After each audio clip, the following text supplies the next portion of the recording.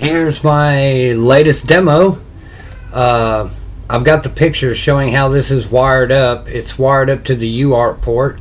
I'm going to use that because I'm going to end up uh, having a bunch of devices on here. So I'm starting with the four distance sensors and I'm going to add a thermo, uh, uh, uh, a temperature probe as well as add the uh, compass from Shure onto the single device. Uh, right now I'm doing it a step at a time and testing each step. So in this step, we're using the Pro Mini. We're using these and I've got everything hooked up now. So let's connect to our robot. Alright, we are connected to the robot. Now I'm going to start the port and uh, let me clear all variables before I get started.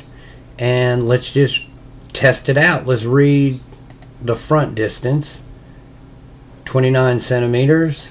Right distance 22 the back is 7 and the left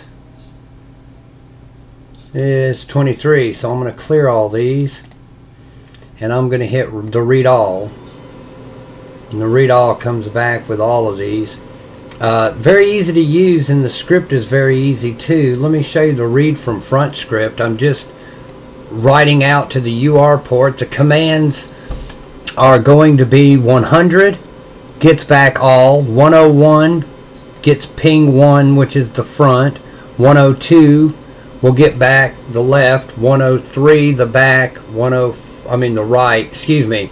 It goes 101 front, 102 right, 103 back, 104 left is the configuration that I've got set up. Uh, I hope you guys dig the demo. I'm going to be adding this the rest of the weekend and into next week. I'll be adding a temperature probe.